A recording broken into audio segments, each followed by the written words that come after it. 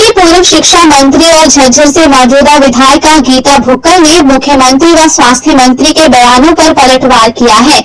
भुक्कल दरअसल कांग्रेसी कार्यकर्ताओं के साथ शनिवार को नोटबंदी के विरोध में प्रदर्शन कर रही थी। प्रदर्शन के बाद उन्होंने जिला उपायुक्त को ज्ञापन भी सौंपा। जिसके बाद भुक्कल ने पत्रकारों के सवालों का जवाब देते हुए मुख्यमंत्री व अनिल विज के बयानों का पलटवार किया।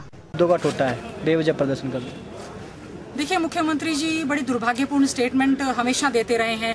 उन्होंने वो झज्जर आए थे। पहली बात, उनको झज्जर में झलसा करना चाहिए था। मातानेल में गए और देखे क्या गए, इतना तो एक विधायक अपने हल्के में करवा लेता है।